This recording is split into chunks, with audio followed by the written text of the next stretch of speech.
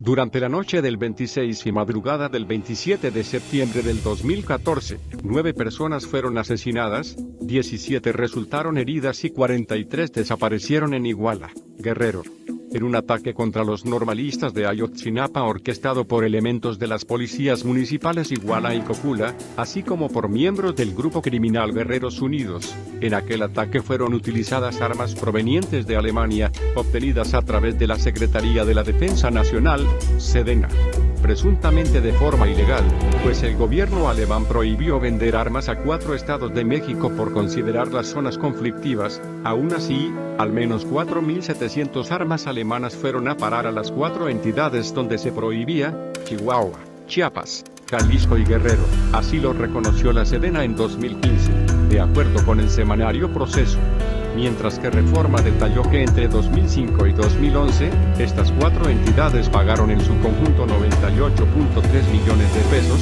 más IVA, a la Sedena por 5.003 armas alemanas.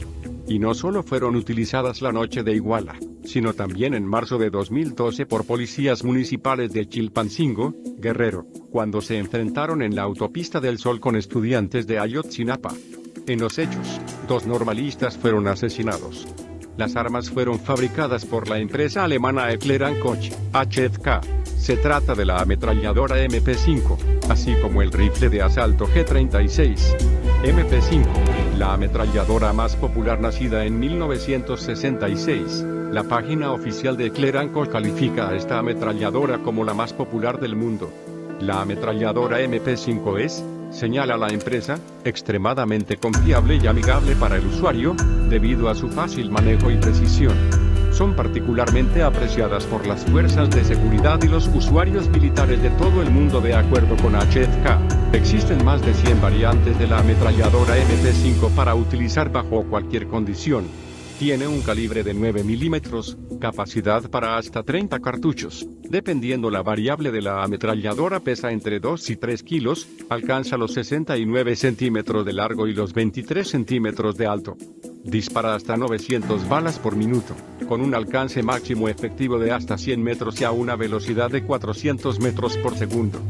G-36, ilimitado en velocidad y agilidad. El rifle de asalto G-36 comenzó a operar en 1966, hecha de plástico reforzado con fibra de vidrio. Es calificada por Eclair Koch como un arma ligera con alto rendimiento y bajo mantenimiento. Óptimo manejo, peso y resistencia al fuego en combates cuerpo a cuerpo, así como para un solo fuego rápido preciso y potente en combates de largo alcance con un calibre de 5.56 milímetros. Tiene una capacidad para 30 cartuchos, un largo de hasta 1 metro, 32.3 centímetros de alto.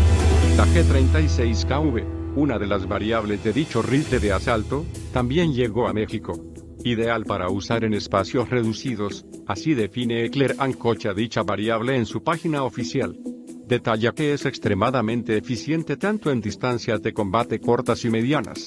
Tiene el mismo calibre y capacidad de cargador, aunque es más pequeña, llega a medir hasta 83.3 centímetros de largo y 27 centímetros de alto.